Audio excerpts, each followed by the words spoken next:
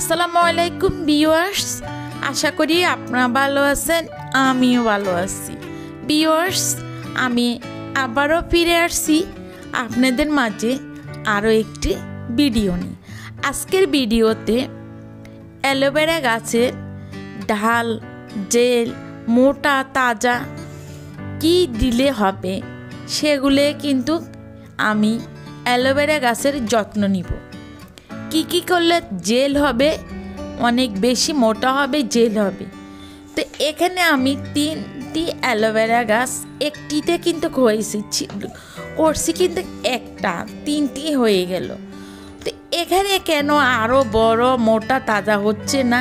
সেটা কিন্তু আমি দেখছি যে মাটি আমি জৈব সার আর মাটি দিয়ে যে গাছ লাগিয়েছি, এই গাছের টবে মাটি শক্ত হয়ে আছে। তো আমি কিন্তু একটি রড দিয়ে এগুলাকে জর্জর করে আরও একটি সুন্দর করে আমি লাগিয়ে নিয়েছি। সাথে আমি আরও একটি চাইলে দিলে দিতে পারি।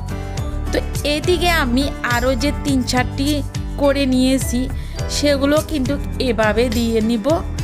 আর এখানে কিন্তু অবশ্য জৈব সার আর মাটি থাকবে, তার সাথে আমি এখানে দিয়ে দিব ডিমের খোসা পাউডার। তো এখানে আমি ডিমের খোসাগুলাকে পলির ভিতরে নিয়ে হাতুড়ি দিয়ে এগুলাকে আমি গুঁড়ি করে নিব। এমনভাবে গুঁড়ি করব, একটি চাকনিতে নিয়ে আমি চেলে নিব। যে ডিমের খোসা পাউডার হয়, মতো যেহেতু হয়। তো এদিকে দেখতে পারতেছেন কীভাবে আমি পাউডার করে নিয়ে এসেছি।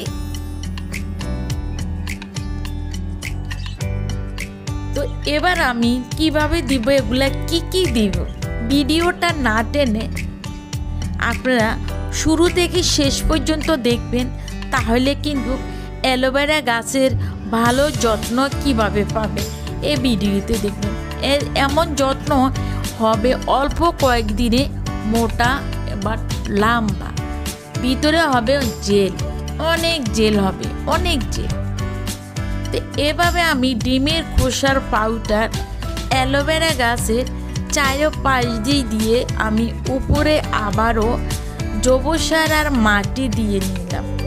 দিয়ে এইভাবে আমি এখানে তিন চারটি অ্যালোভেরা গাছের টব লাগিয়েছি। সবগুলাতে কিন্তু আমি একেভাবে ডিমের খোসার পাউডার দিয়ে নিব। তার উপরে আমি পাতলা করে মাটি আর জৈব সার নিয়ে নিব। তার উপরে আমি আসল রহস্য হলো, এখানে আমি প্রতিদিন চাল দোয়ার পানি আর আলুর খোসা, ডিমের খোসা একটু একটু করে জমা করে আমি এক মাসের মতো এগুলাকে আমি পচিয়ে নিব। এটা এইটুকু খোসা দেখতেছেন আলু আর পেঁয়াজের এইটুকু ভিডিও হলো আমার এক মাস আগের এই মাঝখান দিয়ে আমি এক মাস আগের এটা আমি ভিডিওটা দিয়ে নিলাম। এবার আমি এগুলাকে এক মাস পর্যন্ত পচাবো। পনেরো দিন বিশ দিনও কিন্তু পচে যায়। তো এক মাস পরে আমি এমনভাবে পচিয়েছি, আলুর সাথে, খোসার সাথে কোনো অংশই থাকবে না। একেবারে মিহিস হয়ে যে ভিতরে পানি দেখতেছেন, এটা এতটা ঘন থক থক হয়েছে। আর যে খোসাগুলোর সাথে কোনো কিছুই নেই। তবু আমি এই টবের মধ্যে সম্পূর্ণ পানি আর সম্পূর্ণ যে খোসা চারো পাশ দিয়ে আমি নিয়ে নিব। যখন খোসাগুলো শুকিয়ে যাবে, তখন আমি এগুলো ফেলে দিব। আর ডিমের যে খোসার পাউডার সেগুলো কিন্তু এই পানিতে পচে সার হয়ে অ্যালোভেরা গাছের ডাল হবে জেল, অনেক জেল, অনেক লম্বা, অনেক মোটা। এই ভিডিওটা আমি আপনাদের সাথে আবারও পরবর্তীতে দেখাবো। এই যে দেখতে পারতে সবগুলো কিন্তু তাজা, অনেক সুন্দর। এবার হবে মোটা জেল, অনেক জেল হবে।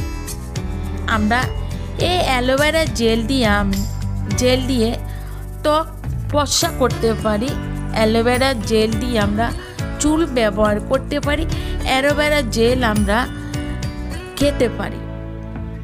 দেখতে পারতেছেন সবগুলোর মধ্যে আমি এক এক করে পেঁয়াজ আলুর খোসা সবগুলা পচা জিনিস দিয়ে দিয়ে নিয়েছি। দেখতে পারতেছেন? অ্যালোভেরা আমি যেভাবে যত্ন করেছি গাছ, সেইভাবে যত্নে অ্যালোভেরা আট সপ্তাহ লাগবে না। আপনার পনেরো দিন থেকে সতেরো আঠারো দিনে আমার অ্যালোভেরা গাছের জেল। দেখতে পারতেছেন কতটা মোটা, কতটা জেল হয়েছে। সরাসরি না দেখলে বিশ্বাস করতে পারবে না। এইরকম যত্ন করলে অবশ্যই আপনার অ্যালোভেরা গাছে জেল হবে, অনেক বেশি ডাল হবে, অনেক বড়।